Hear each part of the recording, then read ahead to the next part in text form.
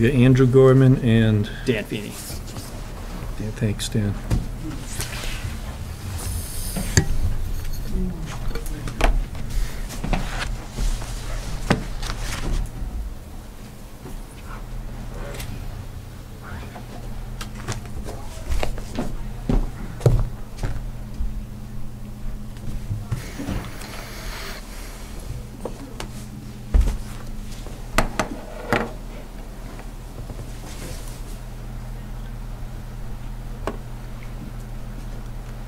All set. Vote.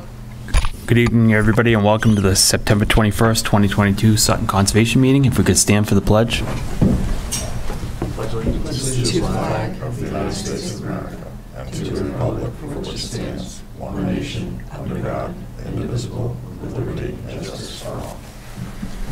Thank you. And uh, we have Mike McGovern is absent tonight, as well as Wanda Bean.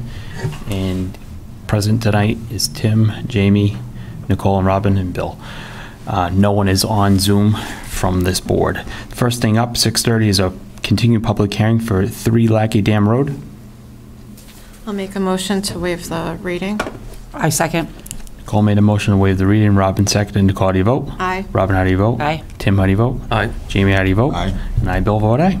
Welcome back, guys. Name and address for the records, please. Sure. Um, Dan Feeney, I'm a professional engineer at Beals and Thomas. Um, also here with me tonight is Andrew Gorman, a wetland scientist at Beals and Thomas.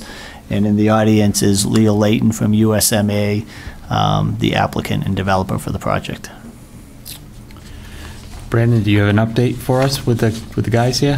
They have a presentation. They've got a, you, If you I, ready? uh, Or Sure. Need so to pull me- it up? Let me uh, share the screen and share.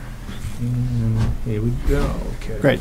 So we just wanted to provide a, a fairly brief overview of where we're at and, and you know, um, where we've come from. So um, if you go to the next slide, Brandon. Sure. Um, So this is, I don't know how to get rid of that thing on the right. I thought I did. Uh, don't worry, I, you know, if it, if it conflicts, we'll, we'll worry about it then. But, um, so the site plan, um, so this is similar to the site plan that we, um, presented to the Conservation Commission the last time we were in. Um, and, and so since that time, we've just, um, firmed up the details of the design. Um, so it was sort of at a schematic level before. And so we have um, issued full updated site plans. It's a, probably about a, a 15 to 20 uh, plan sheet set, um, as well as um, a conservation restriction plan, a draft proposed conservation restriction plan as well. So, uh, but the details have, have largely stayed the same um, from what we presented the last time. Um, and, and, and as the commission may remember, that is um, keeping work outside of the 50-foot aura area, except um, for the small amount um, associated with detention basin number three, located at the northeast portion of the site. Um, Just the outlet pipe from that basin um, is, is, goes into the 50 to 25-foot aura area up there. And it's a, it's a, it's a really small area, just enough to daylight a pipe um, from the basin bottom elevation. So again, it's, it's largely um, consistent with the previous design. Um, The plan set also, um, if you go to the next slide, um, does include some tree impact areas. Um, So one of the items um, that the Conservation Commission had requested was that a tree survey be done um, for trees within the limit of work um, within the Aura area. So we did do a tree survey um, and have cataloged the trees that are within that area. So there's a table um, on the plans that corresponds to the to the tree numbers there. Um, and we also took a, a deeper dive at the trees that are within the 50 foot aura where the canopy um, extends um, beyond the zero to 50 foot, like into the into the 50 foot to say 60 foot um, aura area that are likely to be impacted um, by development. Um, so we have identified those trees um, that we would recommend that they be um, cut, um, so not stumped, but just cut, um, and then replaced in the general vicinity. So, and that would that would you know, be part of the overall uh, mitigation plan. Obviously, the, the largest part of the mitigation plan is the conservation restriction that's being proposed on the parts of the site that are to remain undeveloped. Um, There's also invasive species removal um, within um, both wetland um, areas as well as the Aura area and extending into um, the conservation restriction areas, um, as well as um, the tree replacement for the trees that are specifically uh, being cut within the, the 50-foot aura. And obviously, they're, they're at the edge of the 50-foot aura. We're not going, you know, too close into the BVW, but, you know, based on um, the size of the trees and, and the root structures out there, we've identified the trees that we think need to be um, removed. And, and so there's those two areas, um, both at the uh, southwest area um, along the, the loading dock and the entry drive, as well as the northwest area up by basin number three, where there's, there's areas with those uh, trees. So it ends up being approximately 30 trees that we think, um, you know, may, may struggle to survive if, you know, if not cut and then uh, replanted. So um, that's an overview of that. And then if you go back down um, to the to the conservation restriction plan, this is this is unchanged really from from what we presented at the last hearing. Um, you know, other than we've included basically all the areas um, that are outside um, the limit of work um, in Sutton. So, um, you know, it's it's a total of about, I believe it's about 22 um, acres. Um, the total area in Sutton on the site's about 40 acres, so it's it's a little bit over half of the total total area of the site. Um, and you know, the balance of it being the, the, the development area of the site. Um, Next slide. Um, And then we, we just included some of the um, other plans within the set in case the um, commission had specific questions.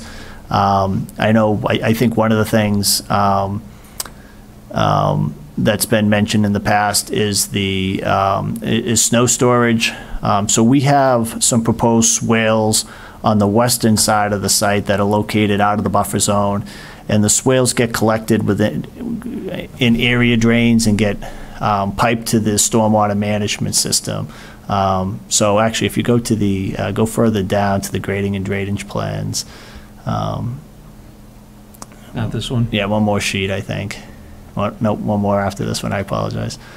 Um, So on the left-hand side of this plan, um, towards the bottom of the plan, um, you can see the contours for a swale down there. So those swales are proposed um, also, so they'll, they'll catch the overland flow uh, before it hits the pavement, but they're also, uh, will be able to provide for snow storage. And if you go to the next sheet down, there's a swale um, sort of at the northern section of the loading dock area as well, yep. Um, Right on the left-hand side there, yep, heading down there. And again, those areas are, are outside of the, um, the buffer zones, um, uh, the aura areas down in there. So th- those are the two primary areas, and then the employee parking would be located around um, the septic system. We don't want to plow on top of the septic system and, and, you know, put more of a surcharge of water um, where the septic effluent would be discharging into, the- into the ground. Um, so, um, and, and I know I've, I've given an overview of the stormwater system. We're still awaiting uh, final comments from the planning board, civil engineering peer reviewer, Graves Engineering.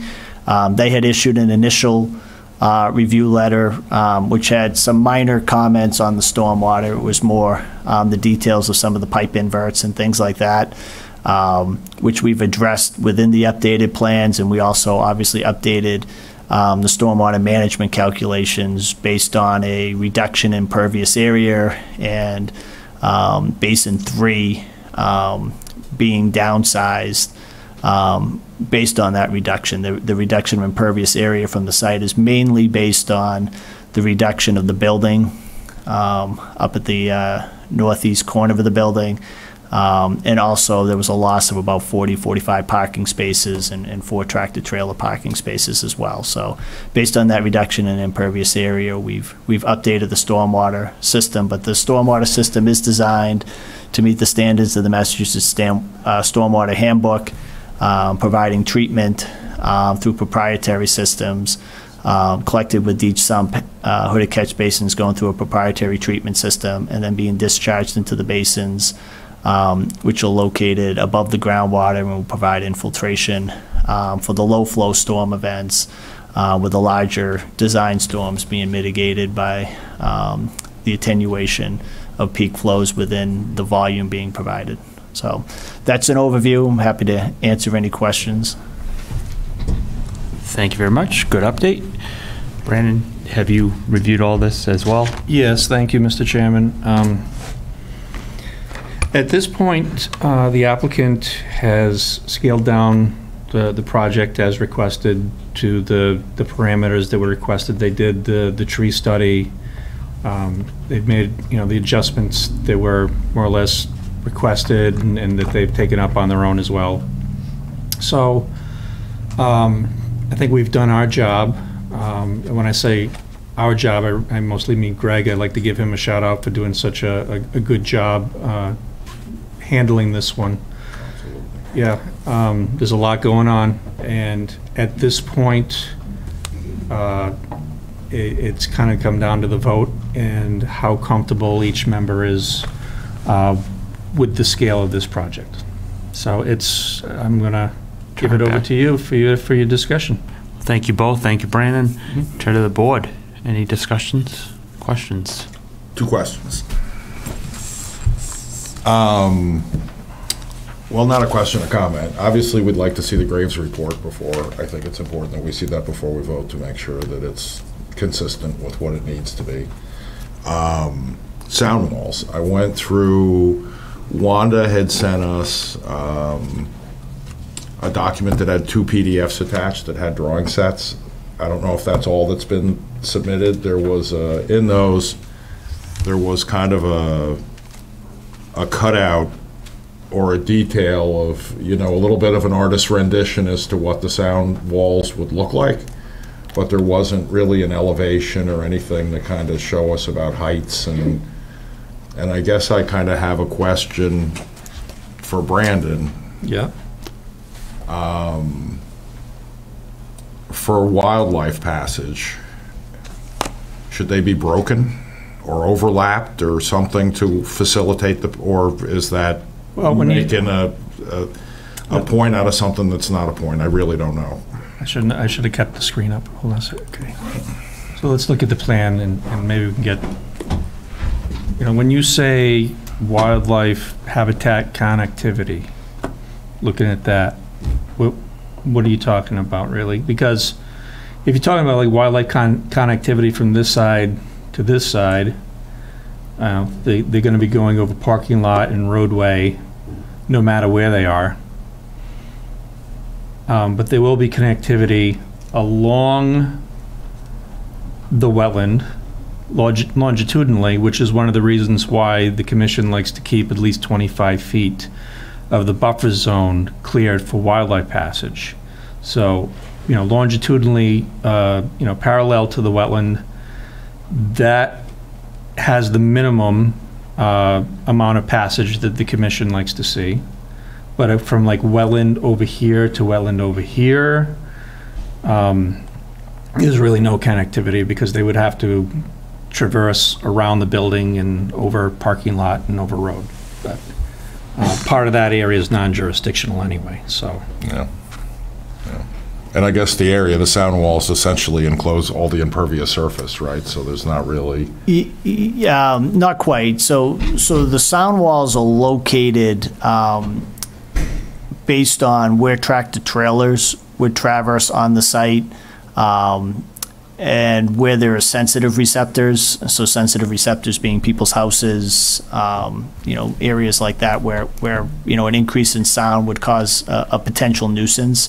Um, So um, there, there is um, sound walls along the loading dock side, but they stop right at the 100-foot aura area on that side. So there's no sound wall heading further south uh, on that side, um, down to Lackey Dam Road because of a lack of sensitive receptors heading back towards the west there.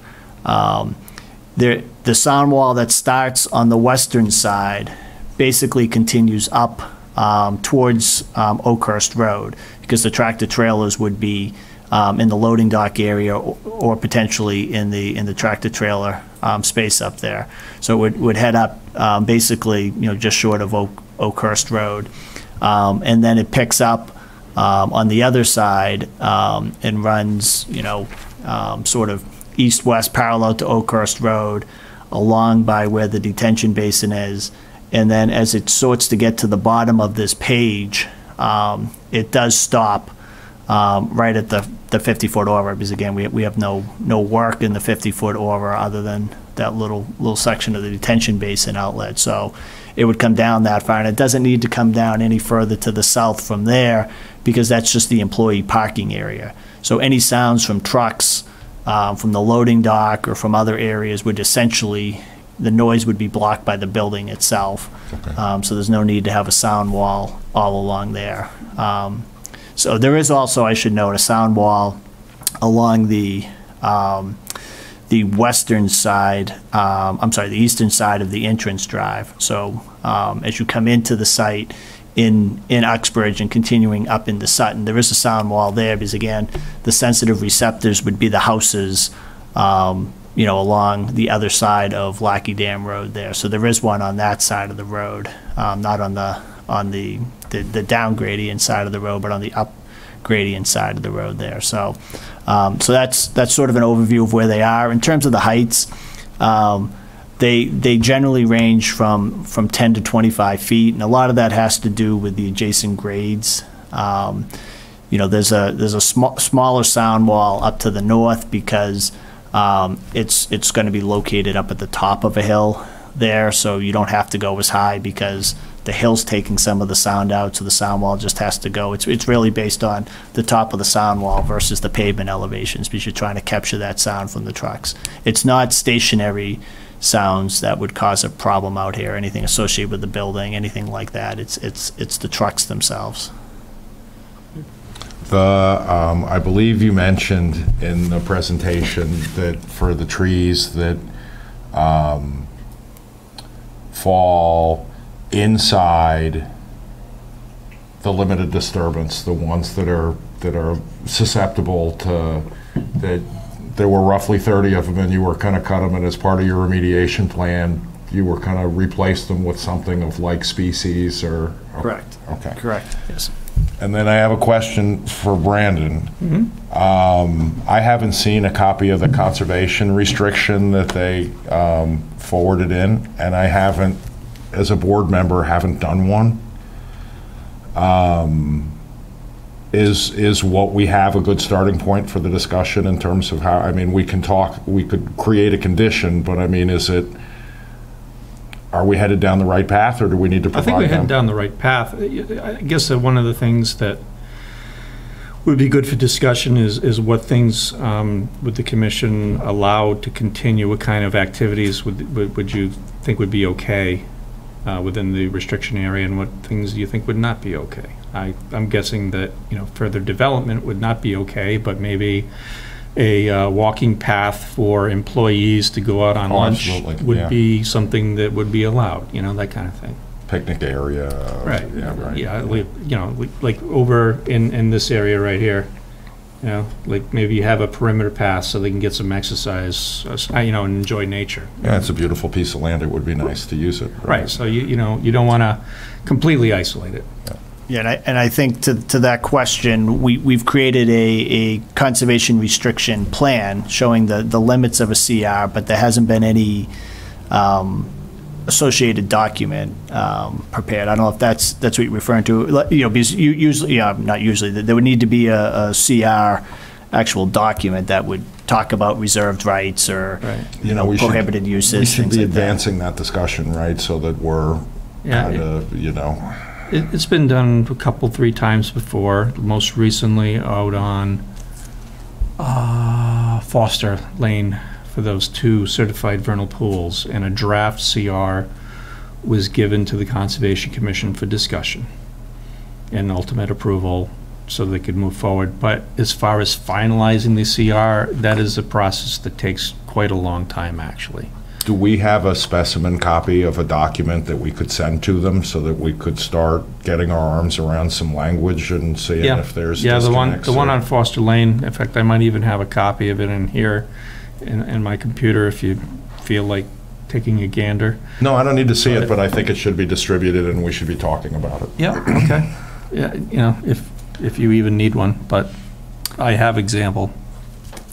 Yeah, I mean, I mean, I have examples, but if there's right. something that the commission's been comfortable with in the past, it might be better to, to start there than, you know, um, something I've done with, with other jurisdictions. The last one was for a single-family house. This is for a commercial, industrial kind of project, and not necessarily apples to apples.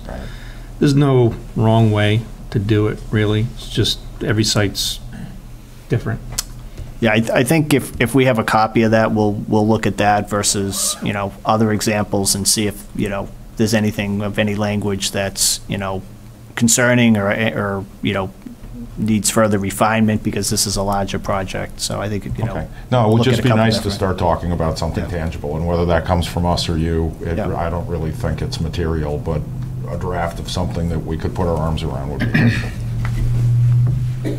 And then you gave a shout out to Greg for the work that he's done on this. I'd also like to thank the applicant for be, making themselves so available to us to work through some of the more significant details. I think that, um, yeah, it was a, I, I saw it as a positive experience. Thank you very much. Um, We appreciate the time the commission's taken as well. Second that. That's it. Anyone else from the board? There's one from the public tonight. It's a, you know, the example from uh, Foster Lane. Yeah, It's, it's a- there's a lot to it, and I, I made, even made some edits on it. You know, the- the reasons, you gotta state the reasons why you're doing it, and then what uses are allowed and what not allowed. In this case, they were really trying to preserve the vernal pools.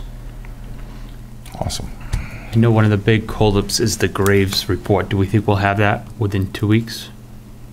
I think so. We, we had um, resubmitted documents to the planning board a few weeks back. Um, So I do have um, a message into to Jeff Walsh from Graves just to try to get an update.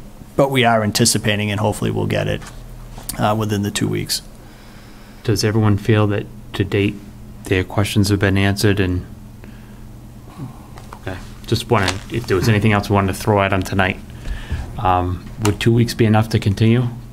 I think so. I think, you know, um, you know, one other item, just so you're aware, we, we have filed now with, um, the town of Uxbridge, uh, Conservation Commission. The, the entry driveway there is located in Uxbridge. We wanted to, to get far enough along in Sutton. Obviously, ninety percent of the project is in Sutton. It's just the, the small amount of entry, but we do have work in their, their buffer zone. So we're meeting with them, um, on October third. So if your next hearing is, is after that, I think that makes sense. It's on the 5th. It'd be the Okay, 5th. so I think that would make sense. Okay, so October 5th is 6:40? I'll make a motion to continue 3 Lackey Dam Road to October 5th at 6:40. I'll second. Nicole made the motion, Robin seconded, Nicole, how do you vote? Aye. Robin, how do you vote? Aye. Tim, how do you vote? Aye. Jamie, how do you vote? Aye. And I, Bill, vote aye. We'll see you on October 5th at 6:40. Great, we Thank you. appreciate it. Thank you. Thank you. Good night.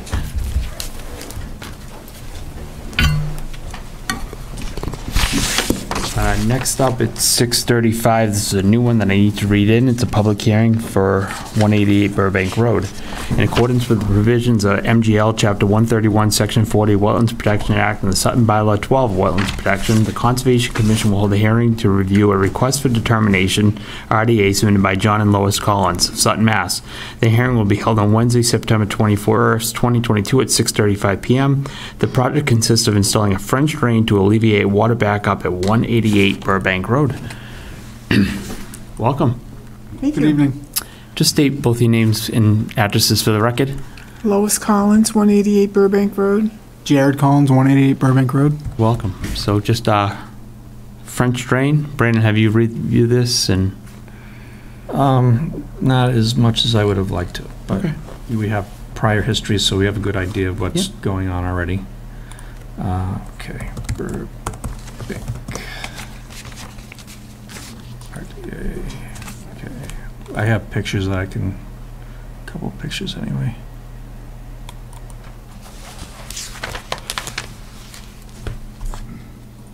Why do I not have as many pictures as I would like? Oh, Greg, where are you when I need you? At the Yankee Candle Factory. Right, okay, I'll, I'll share this anyway, okay. Something tells me that's not where he is. We hope he's I would hope he's not. Okay, share.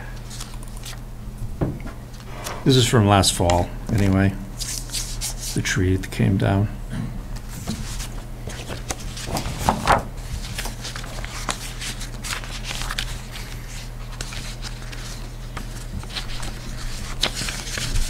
That all of it? On our property? That's all, that's all I have on, on, on digitally. Oh, the, the old school pitches coming around. Yeah, I guess you can Prints. pass these around. No idea. Yeah.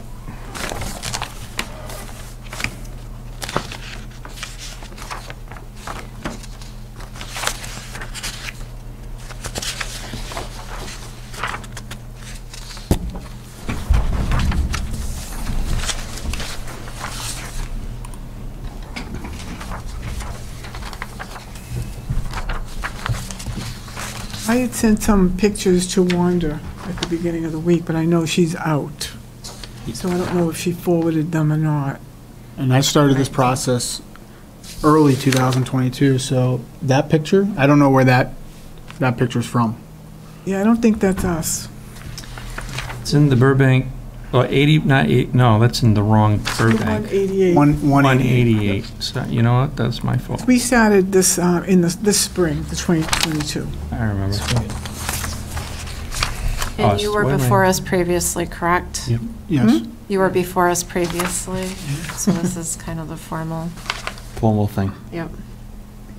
So just putting a French drain in. It's There's Miscellaneous. obviously standing water. Yeah. Yeah. Looks pretty straightforward. While we're, Brandon's looking, does anyone from the board have any questions or comments? No. Anyone from the public? I have, I get something better now. That's just. Ah, that looks more like it. Yep. Yeah, there It we is go. up there and it used to That's be it. over there.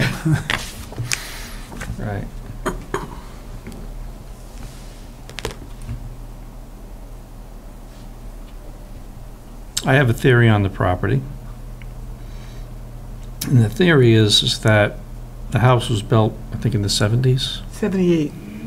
Yeah, back then, the wetland protection laws weren't, they were on the books, but they weren't as strong.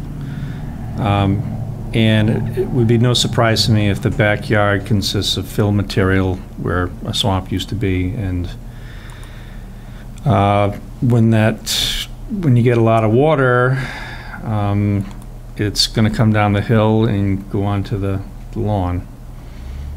And there was, or is, a- some kind of a pipe or Yeah, it looks like an old French drain with the plastic kind of garden tubing that you would use. Where that trash can is right there, it's actually a fire can. A little bit before that, if you, if you were to walk back there, it's all broken up, it looks like. So over the years, um, it was serving its purpose at one time, whether it's clogged or just broken the whole way under the back of the property, now it's not alleviating any of that water. So by replacing that French drain and using better construction material, that's hoping that we're gonna alleviate that problem. All right, so my only question is that, it, it, that's great for the, the owner. But the question is, is now where is this water gonna go to and is it going to cause a problem for anyone else? Is it gonna end up flooding someone else downhill?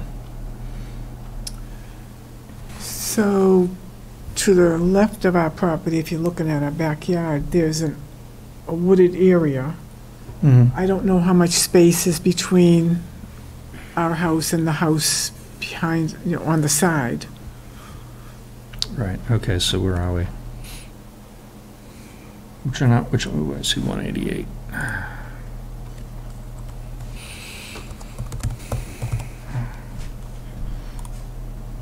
Voila. Okay, so let me do this. Yeah, so it looks like property 21, right next to us. There's that field right there, Right here? or, or no, 21, so the one up of it. Yeah. That's all kind of like wet, wetlands right there on that property line. So that's where the current pipe before was draining into.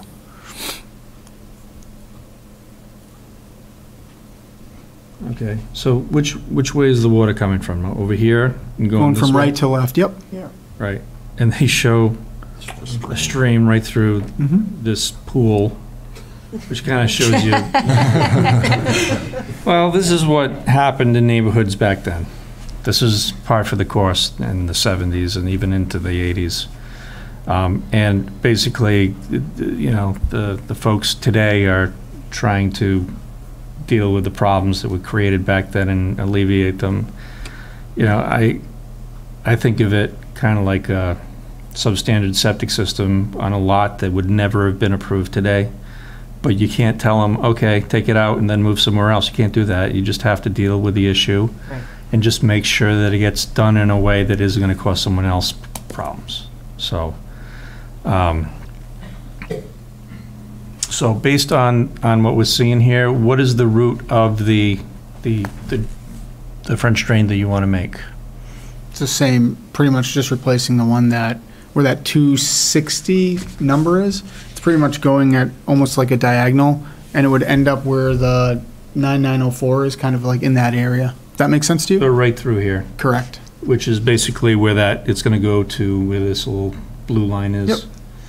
And keep on following. You don't think it's gonna end up, like, th- these folks here are gonna end up getting water in the back of their house? I, I mean, we could, Let it out? I, I hope not, but at the same time, if you look at property 260, there's two pipes going along their uh, driveway that are flooding into my area, so, I mean, like you said, it's a problem that they would never, that you guys would never approve now, but Right. I, I hate to say, like, that's their issue, but this is my issue that I'm dealing with now, right? Right. I know that um, when it is wet, we didn't have a lot of wetness this year. Last year we did, but in the spring we did. That's where those pictures were from with all the water that you've first seen. There is wetness on their property, but it's not in their property, it's in the wooded area. So I don't know where it's draining to after that. We've never really talked to them about it. We probably, you know, maybe we should, I don't know. Um, I'm just not sure where it goes, but it doesn't, I don't see it coming out on Burbank Street as you're heading into Millbury. I mean Burbank Road as you're heading into Millbury. Okay. So, so this is more or less the, the path of that, that drain? Mhm. So it's just gonna be taking the water, see, my, my, uh, theory is that this area back here used to be part of the swamp on this side and this side, but the, you know, the neighborhood's been filled in and the wetland's been compartmentalized. So the water's building up on this side and it's flooding into the yard, so by redoing the French drain, it'll help alleviate the flooding. Um, I don't see a problem with it. Um, and You might have to keep an eye on it and just make sure that the folks over at 21 don't get flooded out in the end. It's pretty far back from their yard. The Um, left side of there, like, like she's saying, where, t- where that 9904 is, right? That's never filled up with water. If that, and maybe that's because our French drain's been broken, but where that 260 line is, where that wetland area is, I mean, I have ducks in there sometimes. You, you know, like, yeah, It is what it is. Yeah. Do we have any engineer drawings or any, do we, we're This was calling it a some- French drain, do we know what, what the details of the construction are and what you're Just- looking to do? This was submitted as an an RDA. It's basically in-kind Yeah, repair, right? That's what it Right, is. that's in what it That's what it is, You're right, and, and in-kind repair is an exempt activity. Um, So. the- Just gonna use newer, better pipe, so it lasts. That's- right? yeah, I don't want to be doing this in 10 years again. I, I don't want to be doing it in 15 years again, you know what I mean? Just, I want to make it better for the next person that eventually is going to take over this house, right? And they don't have to worry about it. Yeah. I've dealt with enough with the property already where it's like, if I can just fix this portion of it, You'll be hopefully it'll be done. Do we know where the drain currently, if we're, if it's a like-kind repair, is, do we know what, if what's being discussed is consistent with what's there? I don't think there was ever an as-built made of it. Has, have we looked at it to see where it daylights and where? No. it's all collapsed and everything else, right? I would- I would presume Guessing so. it's been there for A It's been while. there for a 40 long, long something time. years. Yeah, maybe even 40. Can you find some of the pipe? Oh, it, Could pro- it's a, yeah. it's a plastic, it's the type of pipe that you put at the end of a gu- a gutter Oh, oh, they to went, reroute the water away from your house. So the way it was done was not done properly, and the pipe is broken. so if you can I mean, can, it's all broken and, it's all junk. Yeah. If, all if you junk. And can there kind of is- follow the same line of that pipe, I, to me, that's an in-kind repair, right? Agreed. It is to me. You Just upgrade the pipe to, That, that's all we're doing. yeah. I don't have a problem with that. I don't either. Jamie? I, I- the in-kind repair, I don't have an issue with. We have an undefined scope of what the repair is. And to the extent the repair exceeds what's in place and it creates an issue for a neighbor, I don't, Well, can we, I guess, I I don't, I, Did we I I struggle consider with that when their neighbors did something that created an issue for them? I mean, this is a round and around and around. They're t- wanting to take a pipe out and replace it with a 2022 standard pipe. I assume you're going to be putting it in the same place that it is. You're Yeah. not going to be doing anything different. I don't know how we can, uh, can continue to argue it. this. I mean, I agree. I just, that, I mean, they clearly have standing water in their property. And there's enough The- space the drain between their property and the actual yard of the next neighbors. And they I have just- said I there's no can't. water that actually flows into where 9904 is.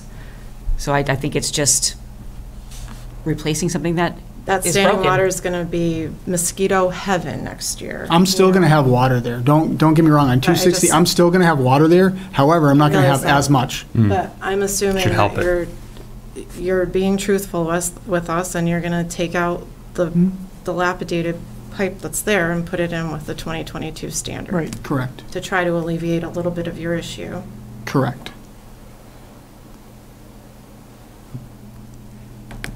anybody I else? don't have a problem with it. I don't either. Just don't throw the old pipe in the wetland.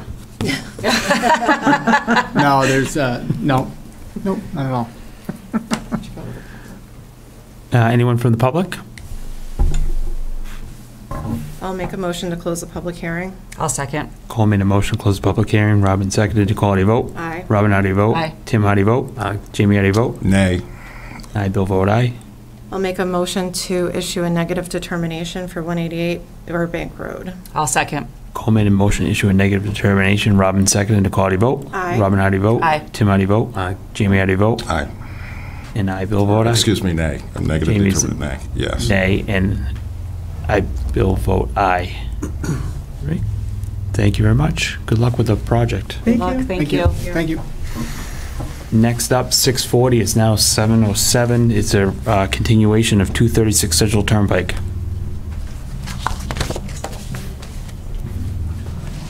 Oh, I'll make a motion to waive the public reading. Sorry. I'll second.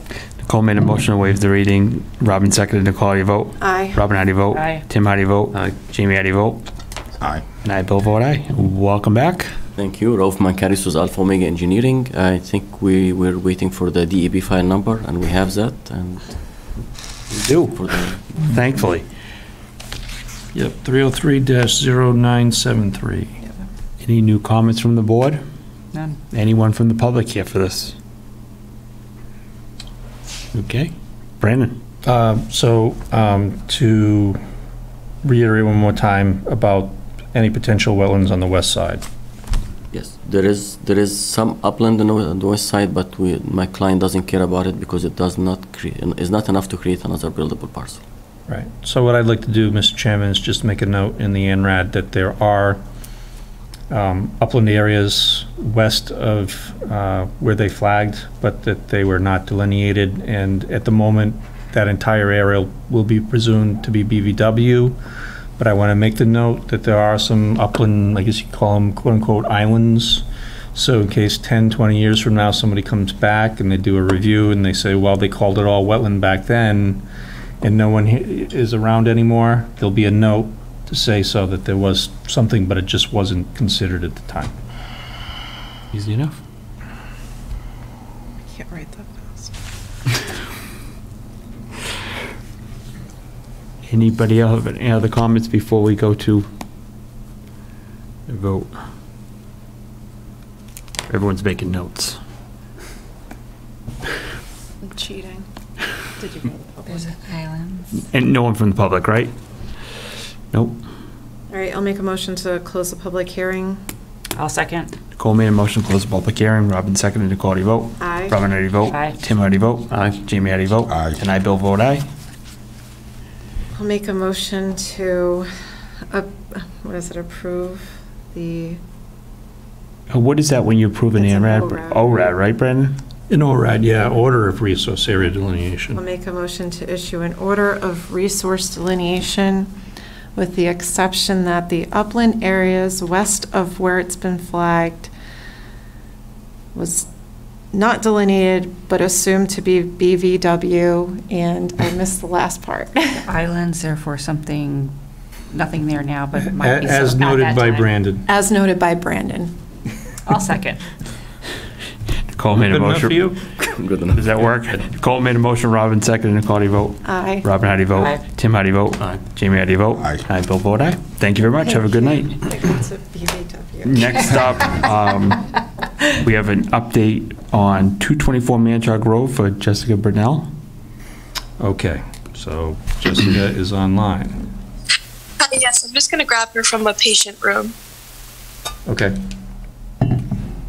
Um, right up 16. We're waiting for Jess. Did everyone review the minutes of August 17th, 2022? Yes. I'll make a motion to approve the minutes of August 17th.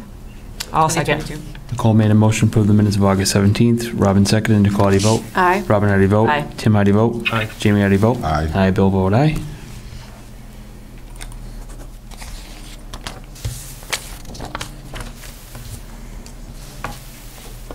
Thank you, sir, for the delay. No problem. Welcome back. How are you, Jess?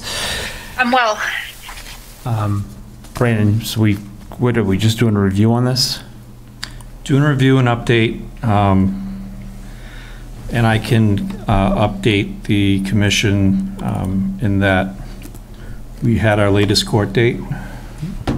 It was continued, so that um, a few more issues can be um, addressed, and we can hopefully clean this whole thing up.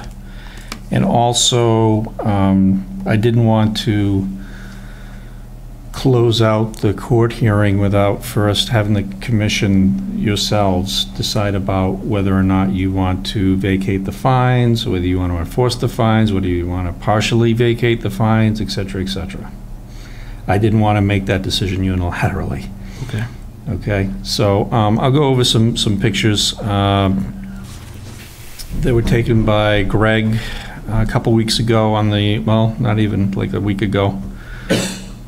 This is the um, landscape uh, restoration plan on the side of the driveway.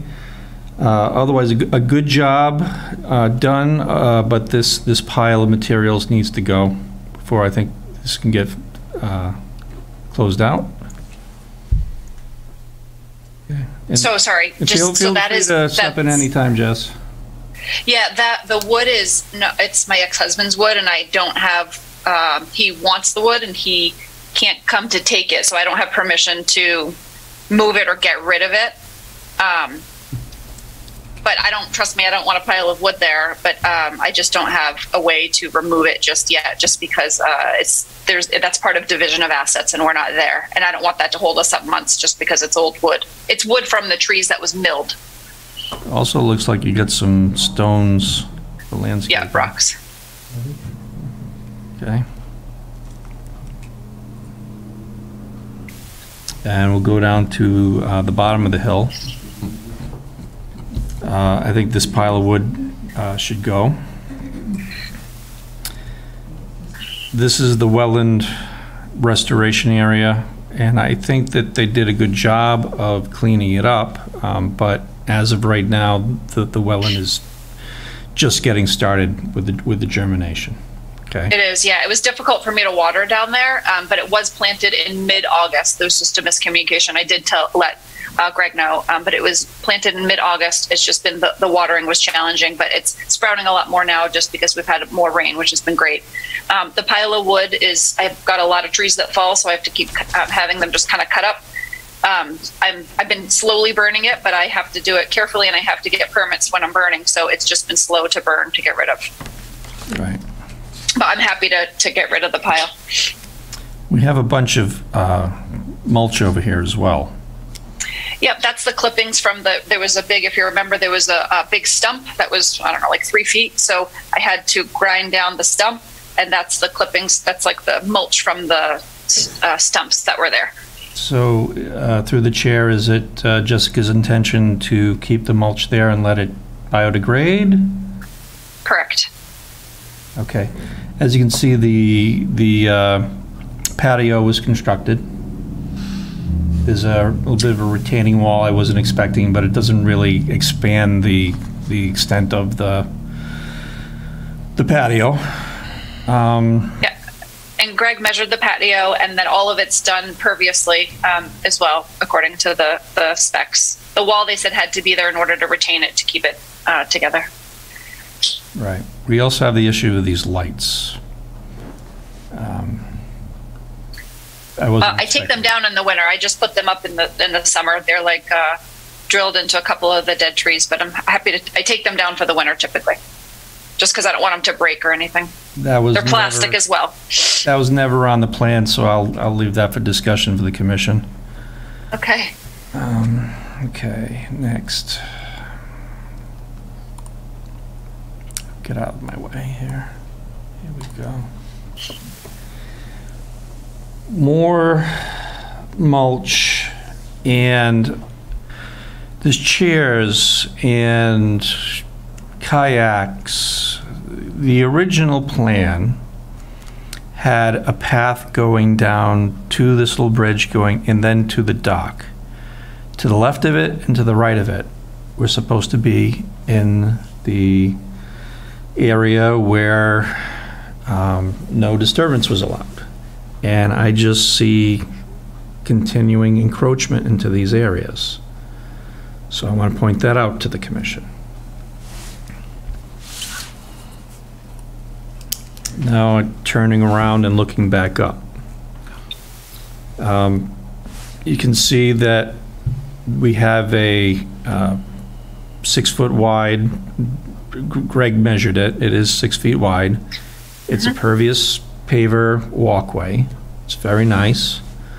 Um, It was never brought to my attention. We have had some discussion uh, about how it got there, why it got there, should it have been there.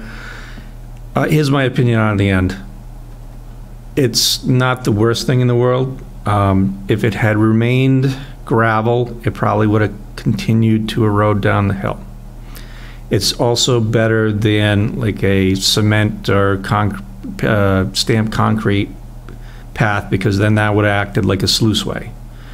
At least this way, the water will infiltrate and it prevents erosion. Okay, so that's my opinion on the walkway. I just wish that there had been more coordination with me on that. We have, uh, there, there was some stone over here on the left-hand side. I'll zoom in a little bit. Um, I see some grass here on the left-hand side. Uh, You know, in the original plan, you had this uh, gravel path, six feet wide, and then on either side was part, uh, well, on the left-hand side, as you see in this picture, that was part of the, the view corridor, which they're allowed to cut once per year.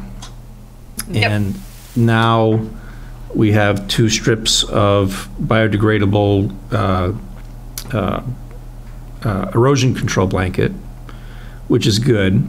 My fear is that, that the grass right there will be continued to be mowed when it's really supposed to look more like this over here, more of a natural state, all the way up to the edge of the walkway.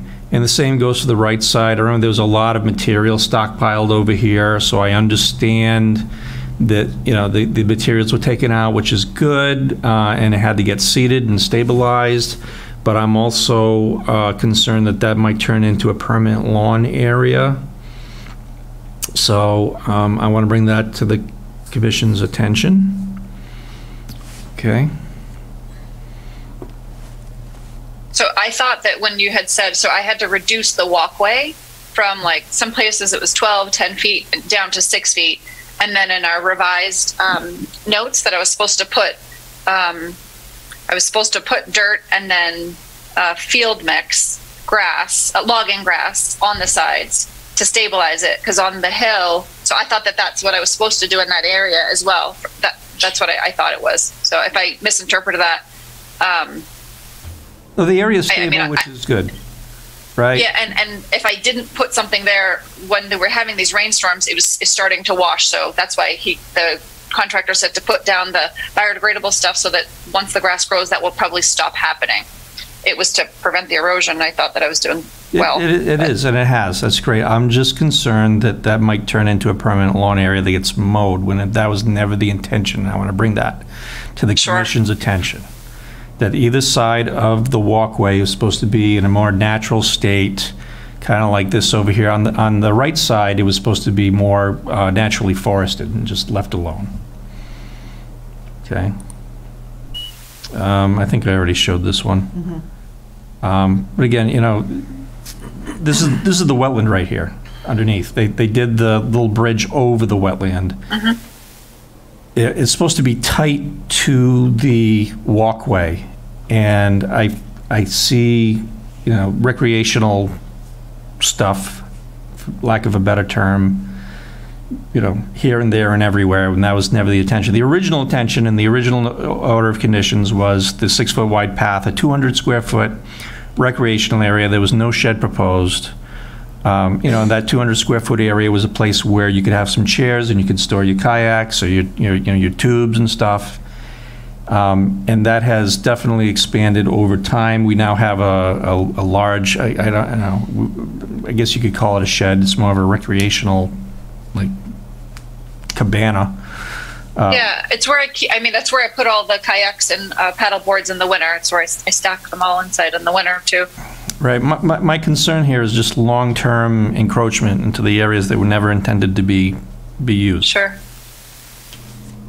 Uh, Another close-up of the, the wetland area, you know, we got some tiki torches there too with a, with some, a stone edge that was never approved I did the stone edge because I didn't want the mulch to get into that area. I was trying to protect it. And I put the tiki torch just so I can tell my kids, don't go past that because otherwise it's mushy. And so they know, do not go past the lights. It's kind of just, they come right out. I just put it there so that they have a physical barrier. They know that they can't walk in that area or go in it. Physical barrier, I think that might be a good idea for further discussion.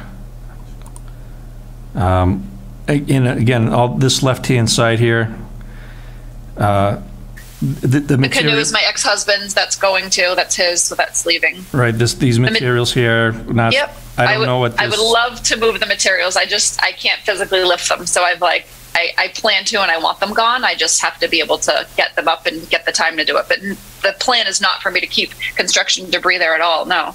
right, I don't know what this uh, anchor blanket is or something right here. Uh, it's it's an outdoor rug that I put there because the uh, it was very muddy. So anytime that we were walking, it was very muddy. So I didn't want to plant anything, put anything there. I just put the rug down temporarily to stop all the dirt. Okay, that eventually. I fold it up in the winter. Everything over here on the left-hand side is not supposed to be, there. There's supposed to be a natural area that you know, is supposed to stay out. That's what I'll say. So, that's the last picture. So those those are the, the, uh, the pictures that I took from Greg's overall set of pictures to, to show to the commission. You know, the question is, how satisfied is the commission with what's been done or not been done at this point? Otherwise, I'm going to say that a lot has been accomplished, but we still have these issues. I am concerned uh, mostly about long-term encroachment into the areas uh, that were never intended to be uh, utilized on a day-to-day basis. Okay. I would say that in the last six months, I have worked on all 25 violations that you brought to me. um, with with updates, and I, I I mean, like no one said you can't keep a canoe there, so like not an issue. It's easy to move, but like I I focused on making sure that I had those 25 violations rectified with as a part-time job, making sure I had contractors, making sure that I had people showing up. This was not a small undertaking for me to do for the last six months. Um, my I have spent every dollar that I have. Like I, I can't even begin to tell you how costly like this is. And I felt like I did every single violation. And when I did the walkthrough with Greg and Tim, I thought that that was the sentiment um, that I did. I, that I addressed all of the issues. There wasn't a 26 violation that said to remove the construction debris like I'm, I'm happy to those aren't those aren't issues like that's that's not a problem for me i want to i just don't always have like they're really long pieces of wood so i have to do that and get someone to help me to do it i'm happy to but i just i was trying to address the 25 issues that you brought to me and i thought that i did a good job in doing my best to do that Over to you, Mr. Chairman. Yep. Thank you, Brandon. Thank you, Jess. Um, we've definitely seen this going, moving, getting a lot of the 25 things done. Um, to the board, well, well, a couple things. One, we have an open fee or fine, um, but Brandon, I believe you, your company was the one working on this with Jess, so have you been made whole? Or your company, I should say, been made whole? We have not to date. Okay. Um, It was, been about a year we've been working on this without, without receiving compensation, and I remember Jess asking for some, some relief in that, in that end, and I had no problem doing it. Um, So that's, that's where we are now. It would be nice to be made whole at some point. Yep. And the fines are up to, what's it, like 50,000? It's in the $50,000 range, yeah. The- If you remember, back in the spring, the commission uh, paused the fines. Lock the fine, yep. Okay. Turn it over to the board. Uh, Before you do, I'll say the, uh, the next uh, court hearing is uh, middle of October. Okay, so it's about a month away.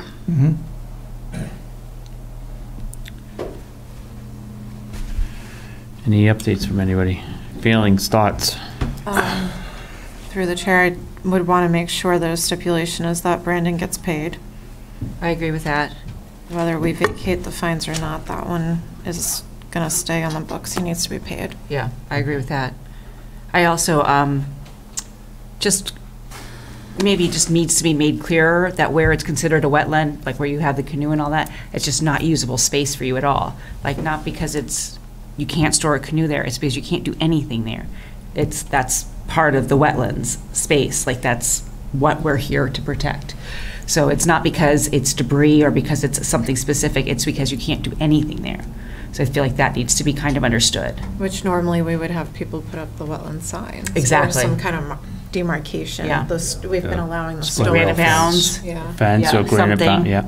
Yeah, something that just so that you, you understand and future owners also understand it's not usable space for any reason. Okay.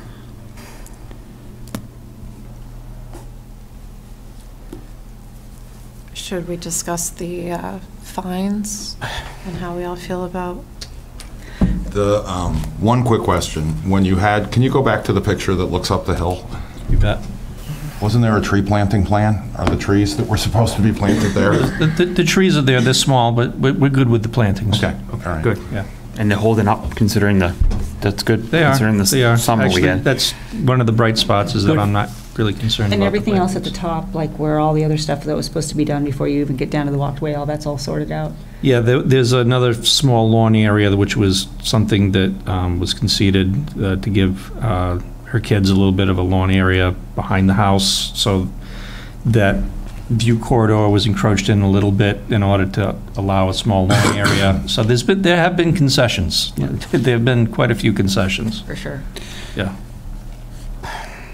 Mr. Chairman, I just want to say one thing for the record. Um, When I was out there with Greg, I didn't express any sentiment.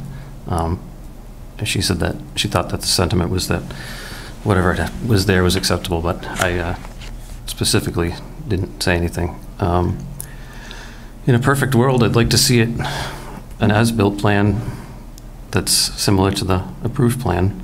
And the approved, I went through and read the original order of conditions. I looked at minutes from the meetings going back to late 2015, um, but this isn't a perfect world. Um, And she has worked on all of these things. Um, She's worked with Brandon for the most part. Um, But I do share the sentiment that there is some, what did you call it, creep? Creep. On creep and, and recreation area. Recreational area, yeah, yeah, creep, I guess you could call it. Yeah, and that, And, and even to that point where she said the tree stump was why there was mulch there, but it continues all the way across into the front and in front of the pond. It's not designated to that one space, so that's, in- more feels more intentional than because there's tree stump stuff, The only thing I will say about that is it's, it's, biodegradable. it's not actual mulch. I mean, it, it's, Wood it's chips, grind, it's, yeah. it's the same stuff the town of Sutton, Would use. yeah. I mean, it's, at least it's not treated. It's natural, um, and it will biodegrade, like it will become nothing, as long as she continues, doesn't keep mulching it, I mean. Add to it. That would have to be an issue, I guess, that we want to make sure doesn't happen. Right. But it does take years for that to happen, that's.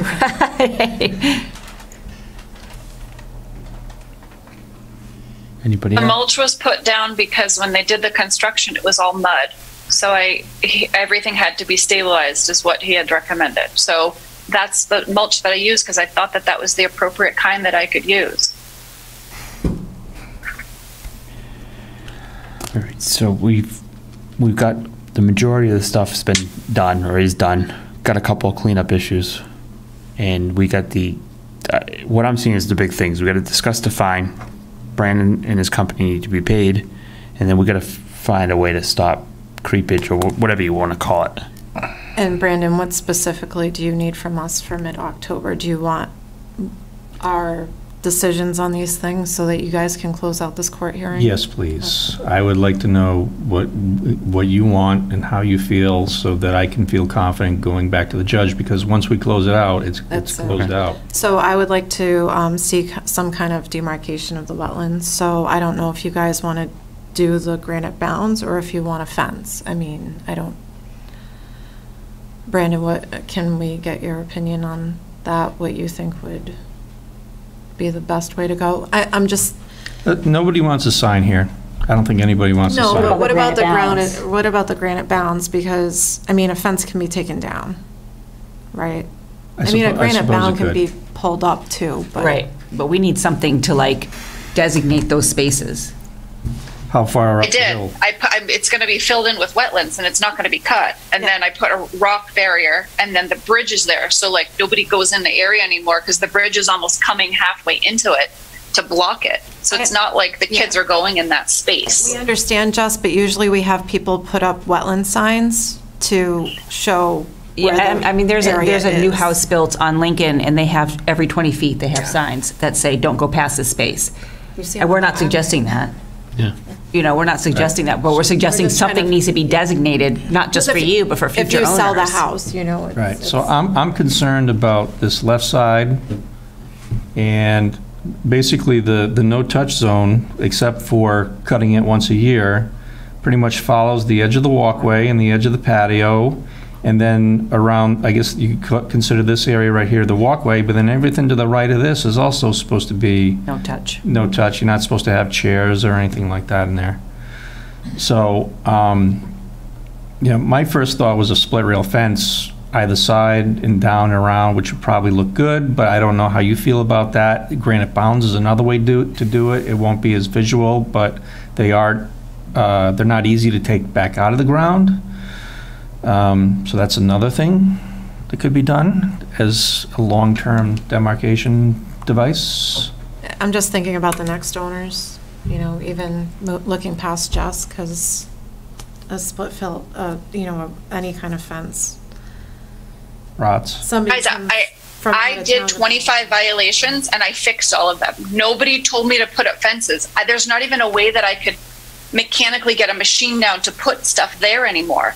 We're not I thought suggesting that a like I was mm-hmm. Just, we're we're not- just, we're just telling you that our, our normal typical thing is that somebody has to, that we have people put up either the signs or a granite post. But then why wouldn't show- somebody tell me that before while I'm doing this? Like I'm trying to close this out. I'm trying to work with And everyone. I've, I've addressed all 25. I don't have any more money to like, I don't think you're understanding how costly this is. Do understand. Uh, We understand very well how much it costs, because we've had, I've had to do it in my own house, not, not to this extent, but it's necessary to protect the wetlands.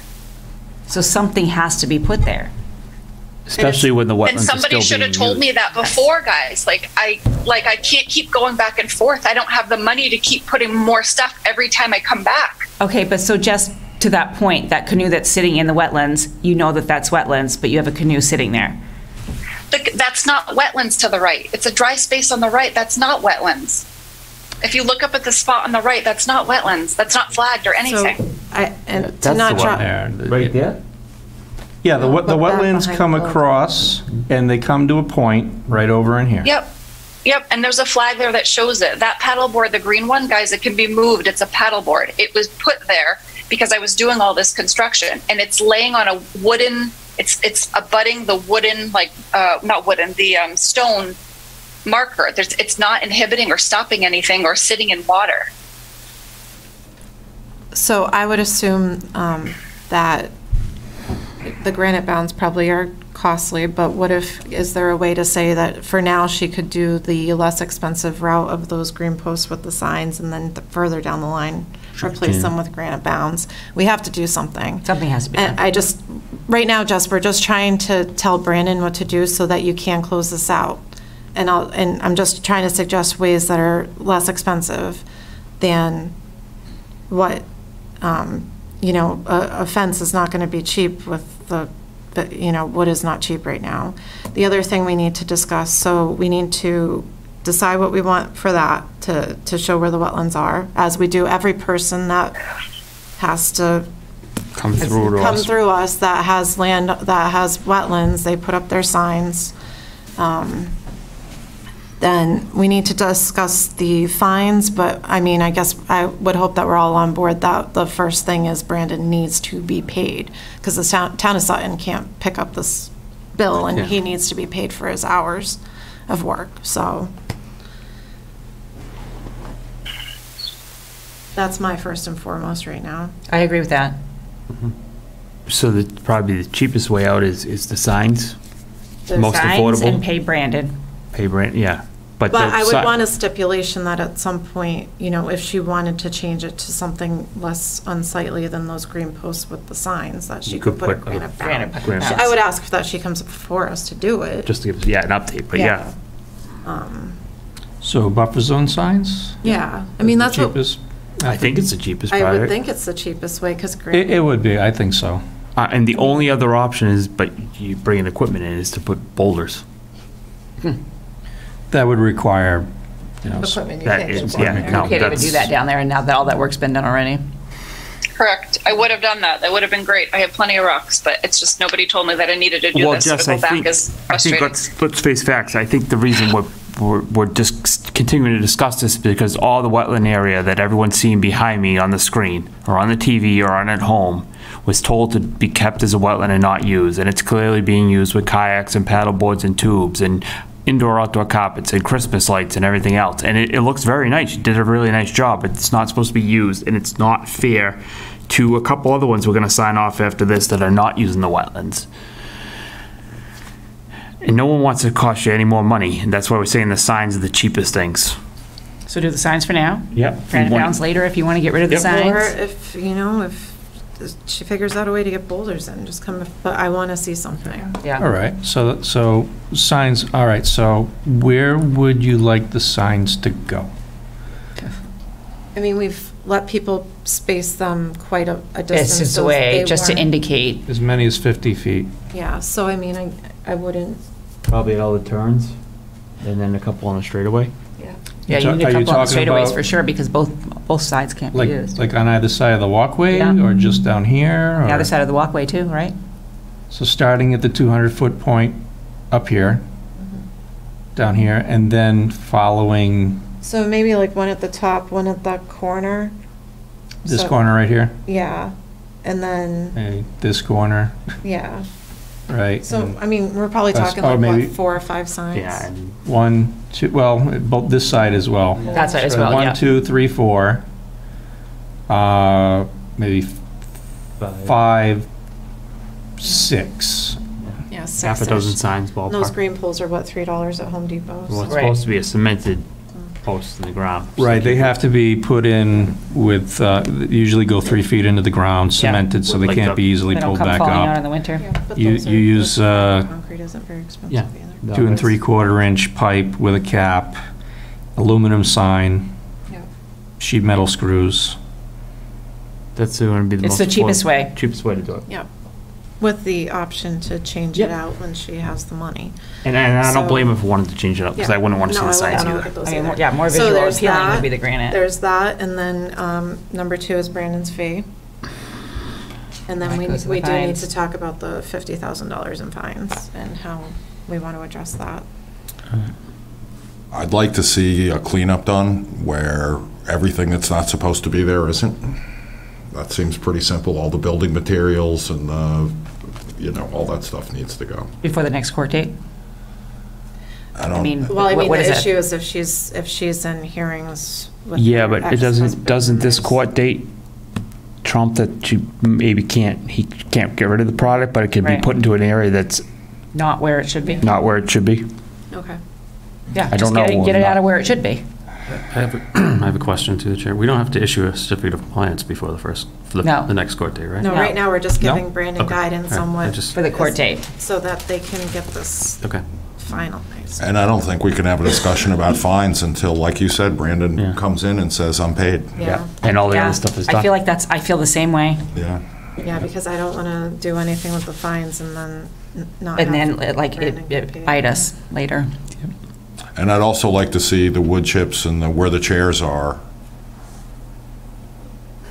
That's, uh, uh, whatever, it really doesn't matter. But that's part of the wetlands area that we're saying we want.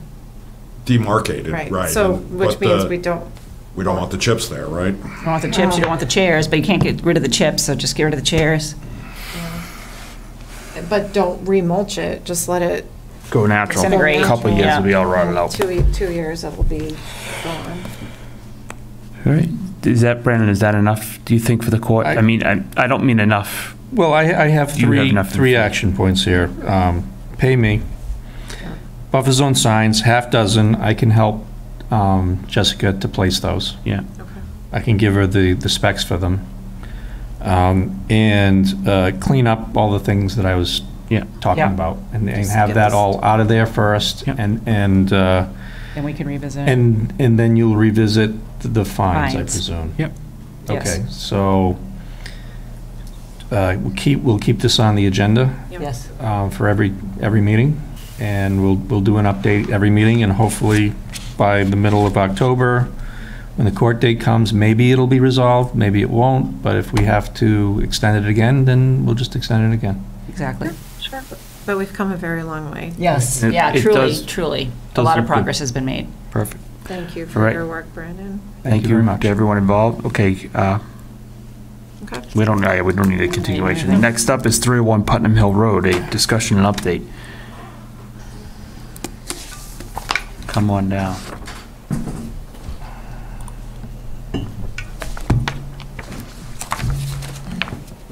Welcome back. Haven't seen you in a while.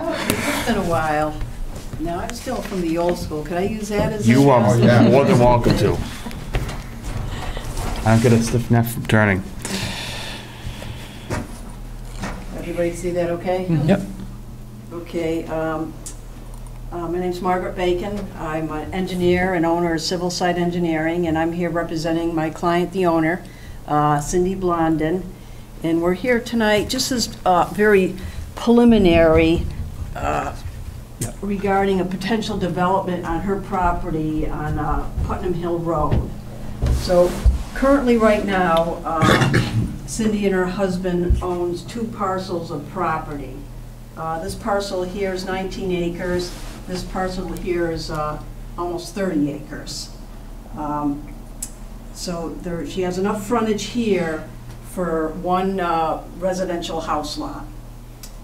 This back lot here has no frontage, but she does own both of these parcels.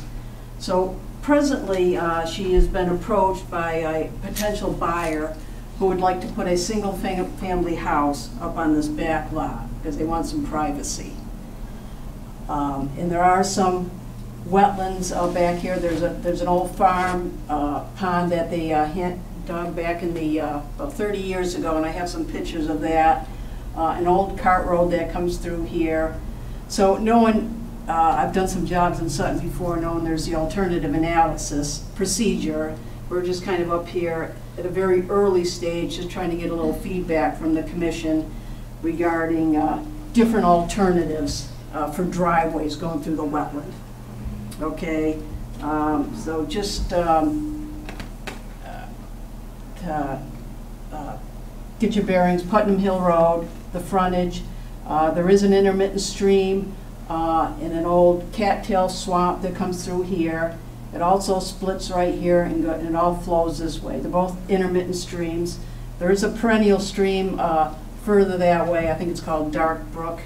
Yes. Yeah, um, I don't believe that affects us at all. So I've got several different driveway scenarios, and then also, um, there is a potential because of, uh, she only has enough frontage for a single-family lot, she could also do a subdivision. Um, And that is also an alternative. And then I, I've shown that subdivision road here, that you could do how many of ever lots, I just didn't, uh, do a full build-out scenario. It's more the road that's the issue at this point, right? That's correct, Right. that's correct. So basically, uh, uh, my client's trying to do is, because she does have a potential buyer who would like to just build a single-family house up on this back lot, to kind of get a little consensus from the board, a little feedback regarding putting in one driveway, and it- it would have to go through, cross that intermittent stream twice, and I'm sure we probably have to do a uh, floorless box culvert in one, and the other one's fairly small, so, but all those details would be ironed out when I get into a full design. Um, And then uh, continue the driveway and uh, put a single-family house up here. And then, and also, just, uh, I do have some pictures, um, and these pictures were taken back in the um, 90, in the 90s, correct? 93, 94. Yeah, when they, they, when they they dug this pond, and then you can see there's the old logging road, or cart path, that, that does go there. There's still some remnants of it today.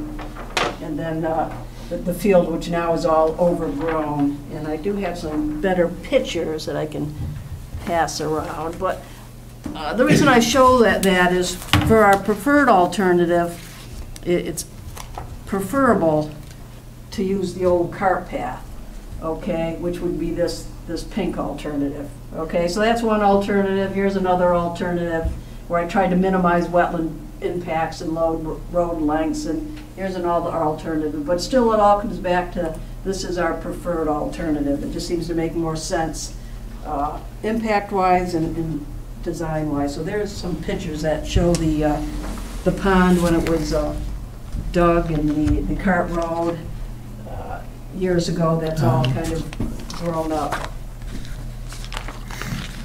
How old do you think the cart road is?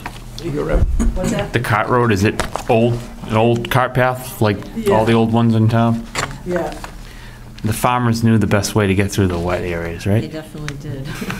and again, actually, it's, it's right along the edge of that property, along that stone wall, and then it comes up here, and and the topography's not that bad either, coming up this way. Uh, where over here, it's much more steep. When we were still living on the property, we used to cut the fields and cut the front fields, as you can see in the pictures. Um, We, we moved, gosh, in 2006, and sold our house on the adjacent lot. So, um, at, since we moved, we stopped cutting, but yes, we used to use that cart path, as did the farmers we bought it from, the people we bought it from that farmed it, to get out to the back fields to cut it. And the nice thing about it is because it was so old and it had been there for so long, and they figured it out a long before we did, we never got stuck going through there, so. Good overview. Thank you. Over to the board, or Brandon, um, thoughts from everybody? Starting with me? Yeah. Why not? Okay. All right, well, if I was reviewing this, the first question I would have is the, you know, regarding, you- you mentioned the alternatives analysis. Yep. So then the question is, okay, so You're thinking about one house? correct? So the question, first question is, well, why can't you, I- and I have a visual, right? I'll, I'll move this. So the question is, well, why couldn't the house be put up here in an upland area where there's access to the road and you wouldn't have to cross the stream or the That- That's true, and I should have put that, that is an alternative. But then the, uh, the owner, the client, then would lose all the benefit of this, this 20-acre parcel that she has in the, in the rear. Mhm. Then we get into Fifth Amendment of the Constitution questions, and whether or not you're being denied use of your land. You know, in Yeah. regards to Article 12 and, and, and uh, the alternatives and all that. Right. So that, that's, that would be the first thing I would, I would bring up. And and you're right, I thought about that afterwards, that, yeah, okay, that would be an alternative, that, that's true. But like I said, I, I think that alternative creates a hardship for the, uh, the owner. How so? Because- Because they have this uh, 19 acres up here that then they wouldn't get the benefit from. Well, they, they wouldn't be getting the highest and best use that, that they would like, but they would still be getting a use. Well, correct, and uh, so, Oh, Mark, can you talk to the mic, speak into the microphone? I'm sorry. Nobody in the Zoom, but it really makes the recording. You can slide it over. uh, you know, I'll just, I'm just going to sit down right now. It's been a long meeting already. Right. Sorry about that. Right. That's okay. Um, So yes, that, that would be one alternative, but uh, as I mentioned, she does have a potential buyer who does want to just put one house up in the back. That's the, uh, that's what's attracted that buyer to that parcel, is putting a house in the back. She has to put it in the front, or that, the buyer has to put it in the front, uh, that they're no longer potential buyers anymore. Y- You know, even under the Wetlands Protection Act, if there was no bylaw, uh, whenever you uh, cross a wetland, across a stream, there's an impact avoidance minimization requirement, and the commissions pretty much have carte blanche to allow up to 5,000 square feet of fill of BVW and so many linear feet of, of, uh, of bank, of a stream or river. And, uh, you know, it's all at the commission's discretion. So if the commission feels that um, a house up front um, is enough, uh, you're allowing a use, you're not necessarily allowing the best and highest use that they would prefer. Uh, That's legally defensible. Uh, It's been done before. Um, But again, um, you may allow up to 5,000 square feet unilaterally without permission of any other state agencies or even the Corps of Engineers, because once you hit that threshold, then there's federal level permitting as well, which most people try to avoid because it's a very expensive headache. Uh, uh, Margaret has written down numbers, and so far, all, uh, everything that, that is in this concept stays under 5,000 square feet. Correct. Okay, so you have that. Um, And then you have Article 12, same kind of idea, uh, uh, uh, impact avoidance and minimization. Do you need to go back there? Do you have to go back there? Do you have an alternative? Is it the best and highest, you know, that you want, but not necessarily what you need? And that's the hard decisions the commission always has to make, is like, do you need this? No, you don't need this, and we're doing this to protect the, the wetlands and the public interests uh, associated with them. You know, otherwise, uh, they would have to design uh, an environmentally sensitive crossing over these two streams uh, into the back and minimize their impacts that way. Thank you. To the board. Anybody? Is there, i- is there opportunities for mitigation? That's a question I think would be very good for Margaret.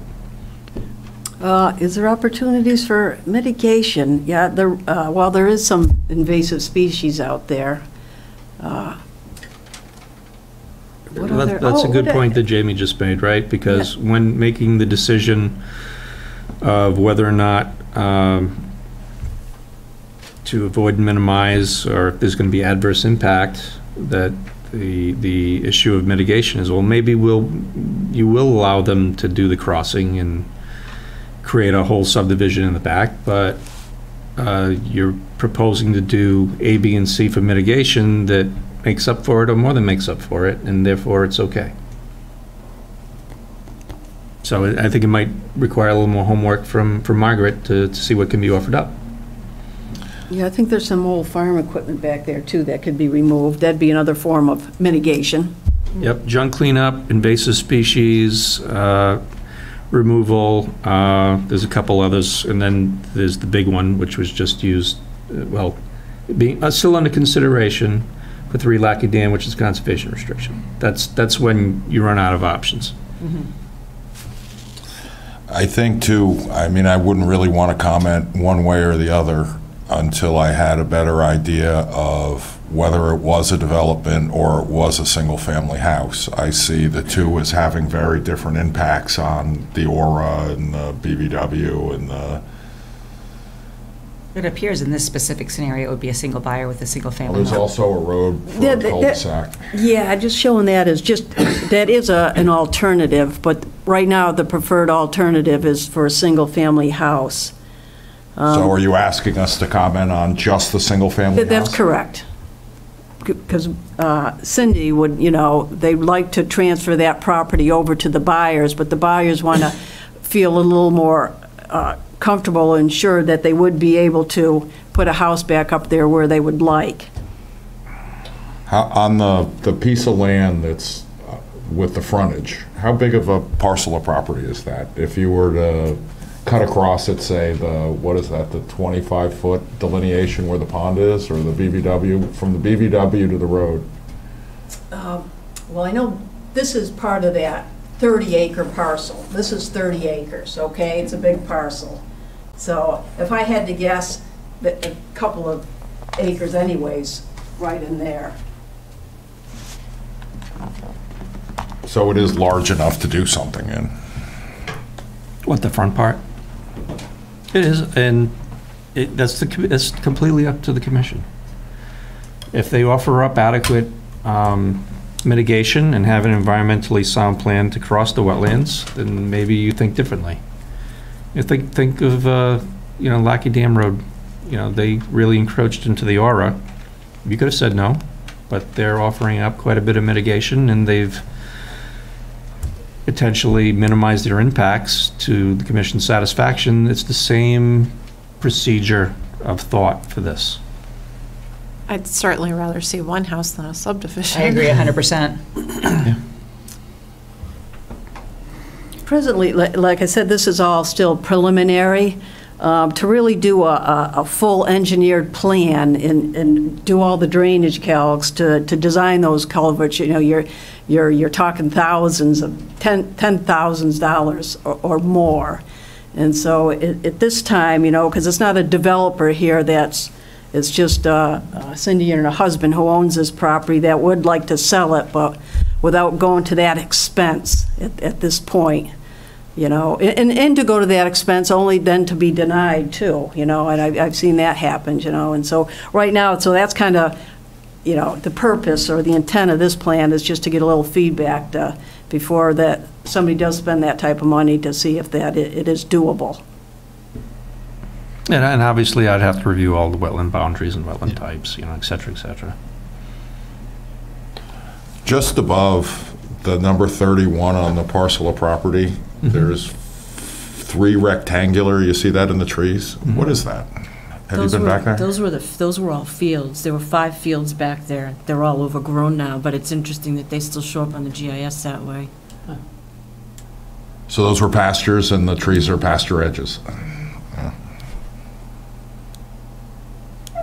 Yeah, the wetlands are pretty much just down in that, that lower point. Once you go up that hill, that's all upland, up where those rectangulars are, fields. Let's do a little, here we go. That's 1997. Wow. All right, and this is where um, the three houses are over here. You got a couple houses over here. These are all pastures at the time. Uh, Here's that wet meadow with the brook that goes right through the middle of it. So this would be, it would be the same brook that they'd be crossing.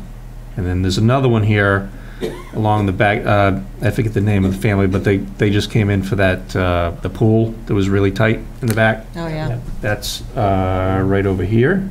And I know for a fact that there's wetland right in here. I, I've done a lot of walking around this area.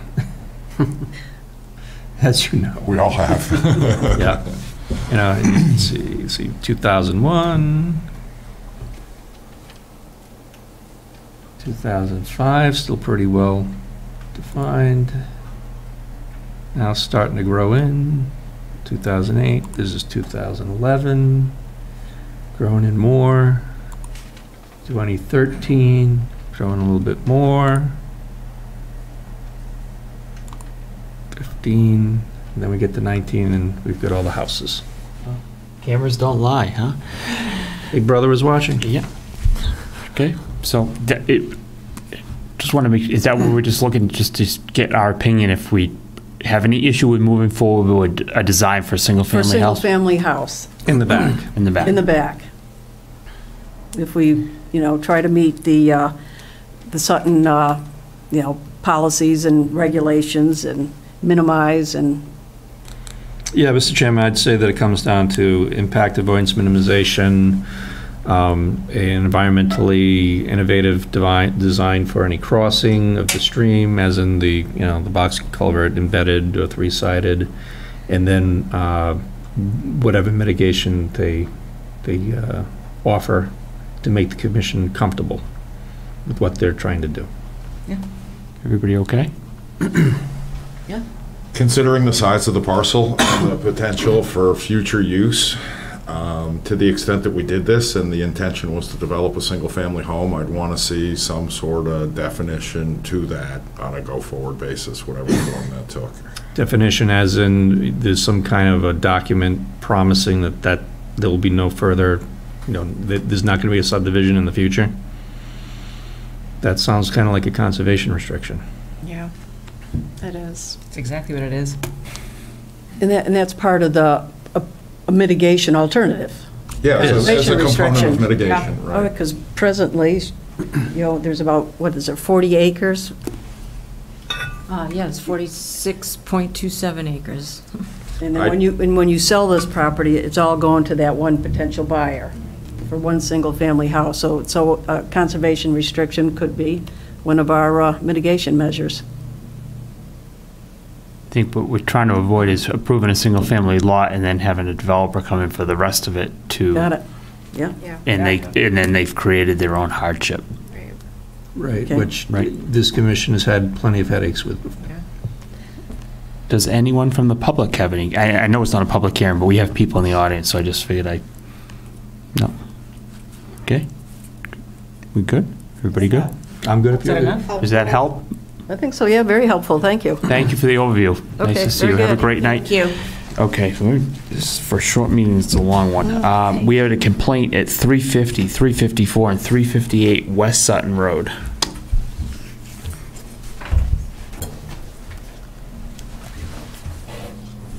Come on down. And if you could just state your name and address for the record, please. Um, what am I doing? It's up here. My name is Barbara Beatty. I currently reside in uh, 1401 East Otis Road in East Otis, Massachusetts. And I own the property at 358 West Sutton Road. Thank you for coming in. Thank you. Gordon, Gordon Witten, uh, 31 Brewster Lane in Acton.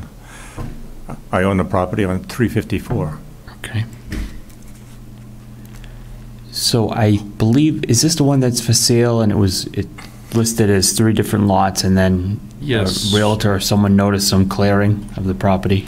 Yes, and I will bring up those pictures once again. Okay, West Sutton Road. Oh, why, where would the pictures go? Um, maybe, and the, the lot lines aren't populating on that, and I don't know why. Here, oh, here we go. All right. And 24. Okay.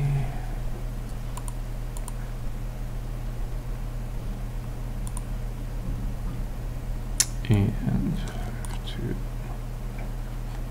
Why? Just a moment. Oh, there it is. New share. Here we go. There we go. Okay.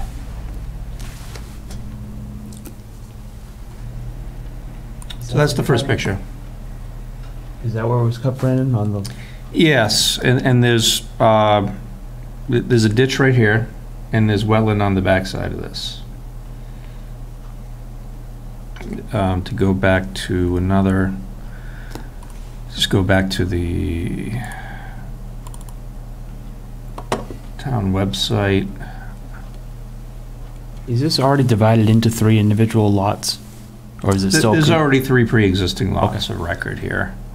And I, I don't know why the lot lines aren't showing up, but, um, pretty much abuts the cemetery and goes up to somewhere in here, th- three lots. It's, they're rectangular, comes down like this.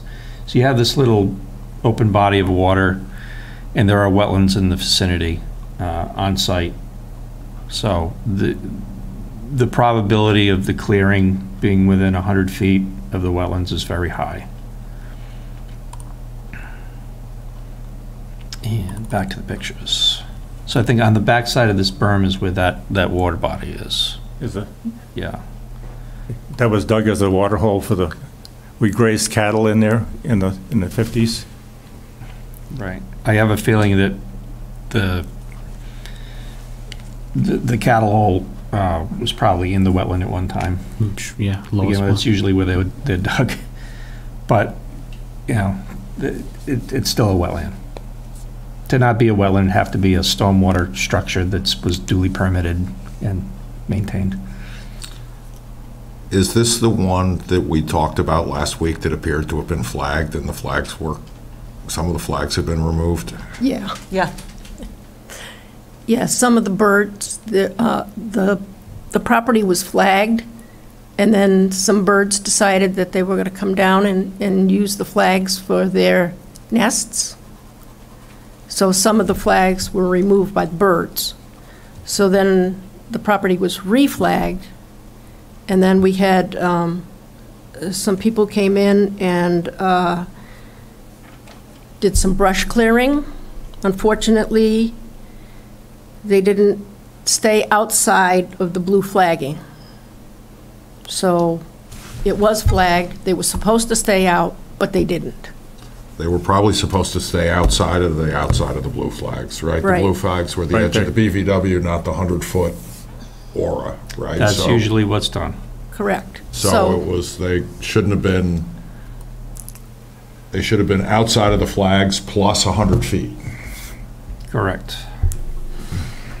Anything within that 100-foot zone requires pre-construction review. And here's one of them, right there. So it's pretty close to the road.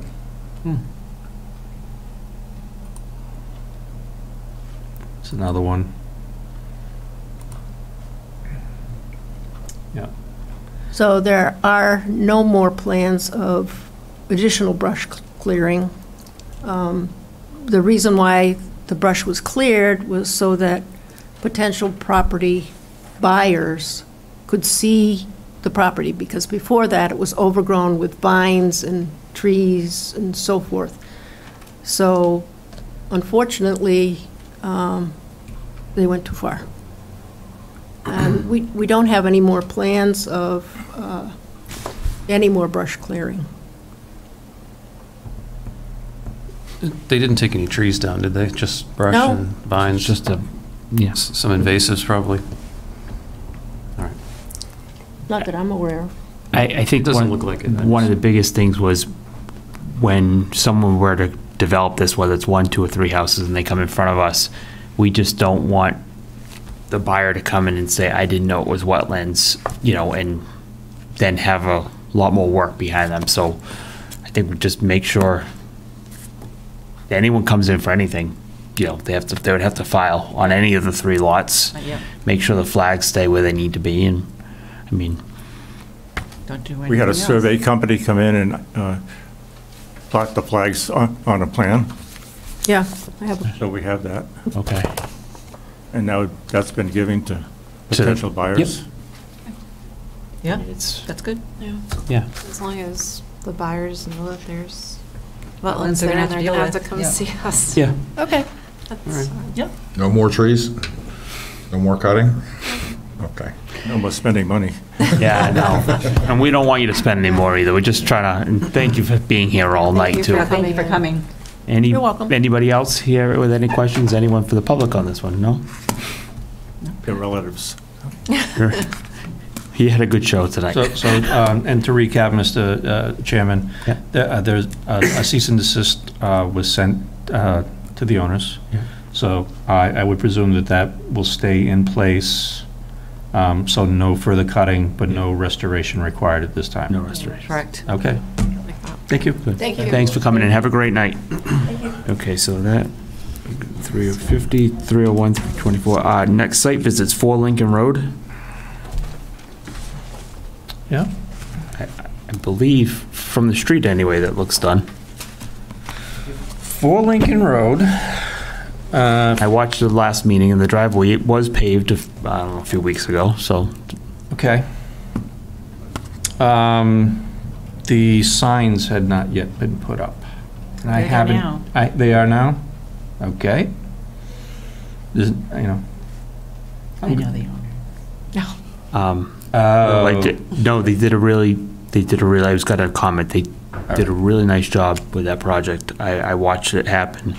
Uh, very neat construction, everything was done. The DP sign went up right away, um, so I, it was impressive to watch. Um, Is everybody happy with the, the grass growth? that grass grew.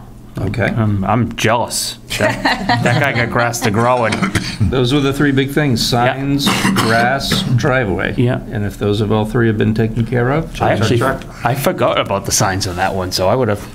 That was one of the last ones that, where uh, the signs were going up at the limited disturbance, and then through urging by Mike, uh, if you remember, uh, the signs were pushed back to be along the wetland boundary That's right. after that. Okay. Too many people complaining they don't want to look at signs at the edge of their lawn.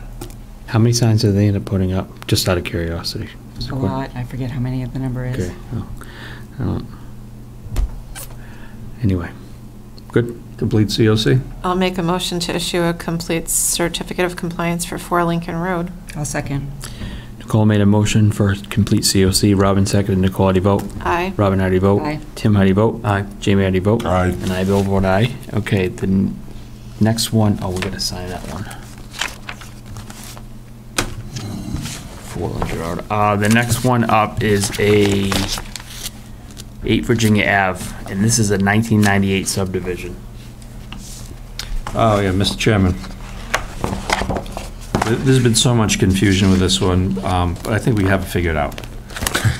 Because it it goes back a while, a while, and nobody was around at the time, so you, like, we're trying to, and you- and then the the file's missing, it's not in. All right, well, tell Almost us, 25 years ago. Right, so. help us sort it The out. original order of conditions was for the road and the roadway infrastructure, like the detention basins. It wasn't for the individual lots. Uh, And as far as we can tell, there was no certificate of compliance requested for the road. The road has been accept, was accepted by the town, it's now a town roadway. So it would be incumbent upon the town of Sutton to ask for the certificate of compliance for the roadway for that uh, DP file number 303-341. Uh, The the person that came in was asking for uh, the COC for a specific lot in that subdivision.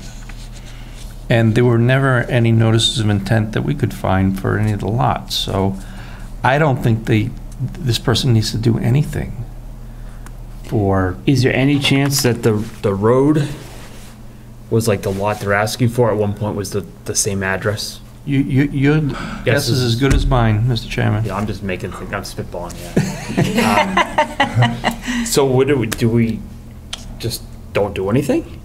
I, I I don't- don't want I'm- these people hung out to dry. As a I'm not commission, convinced that, that they need to do anything. Yeah, it's. what about as a commission if we drafted a letter that said that a fi- we have no record of any filing ever been made and the only one applied for Well, was for the that roadway? particular lot.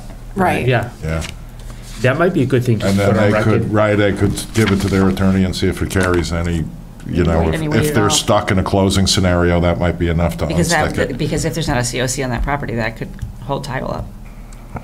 You know, so I don't know Well, I if we, wonder, I was- don't know if we write letters as boards. Do we do that? Good idea. I mean, I, I have no problem with it, to keep it s- personally moving. Just, just factual, just, there is none, there was never one, we have no record of anyone ever being filed for that that project, on that lot. I mean, there were times that people were supposed to have orders of conditions, they, the file's missing, they never, they never put it on record, and so you can't do a It was for the roadway, not for the lot. Yeah. Just for the roadway, yeah, okay, yeah. Yeah. All right. Do we need a vote No. on that? No? Okay. 320 Putnam Hill Road. Which one's that? I looked that up. Let me, uh, Lot going on on Putnam Hill Road all the time. And I felt, a Very busy place. I I wish I knew they were here, because I would have tried to bring them up, well, earlier. yeah, let me bring it up. This might be one that required Wanda's presence. Like she, because she didn't tell me what that was about. Sometimes I have to look at the agenda and then say, Wanda, you put this on the agenda, what's, what's going on? Do we- So we, should we just move it to two would they- weeks? She I didn't would put any, think. there's nothing to sign for it, so, and, What do you have? Lots of stuff. oh, It's you already have, wait, the second 3:20. half of it? No, no.